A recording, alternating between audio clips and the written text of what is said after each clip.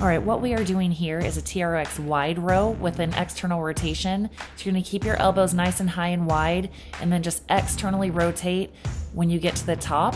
So I'm breaking it down here, I'm stopping at that midpoint, stretching back. Again, elbows straight out to your sides and then flip your hands back to make that 90 degree angle, come back and stretch back down.